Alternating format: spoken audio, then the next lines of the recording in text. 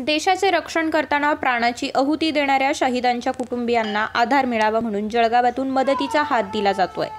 देशातील नागरिक सुरक्षित राहावेत म्हणून सैनिक सीमेवर अहोरात्र जीवाची बाजी लावून पहारा देतात. प्रसंगी त्यांना वीरमरणही येतं. त्यानंतर त्यांच्या कुटुंबियांना आधार मिळावा या भावनेनं जळगावातील आर्या फाउंडेशन ही संस्था पुढे सरसावली आहे शहीदांच्या कुटुंबियांना प्रत्येकी पासष्ट हजार रुपयांची ही संस्था मदत करते आहे अकरा जानेवारी दोन हजार अकरा रोजी राजुरी सेक्टरमध्ये दहशतवाद्यांनी घडवलेल्या स्फोटात खडकवासला पुणे येथील मेजर शशीधरन नायर हे देशरक्षण करत असताना शहीद झाले.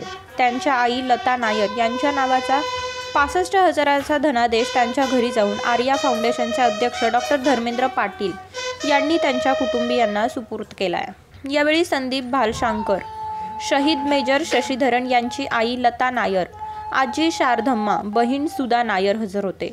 यावेळी आर्या फाउंडेशनचे अध्यक्ष डॉक्टर धर्मेंद्र पाटील यांनी शहीद मेजर शशीधरन यांच्या कुटुंबियांची विचारपूस करून त्यांचे सांत्वन केले.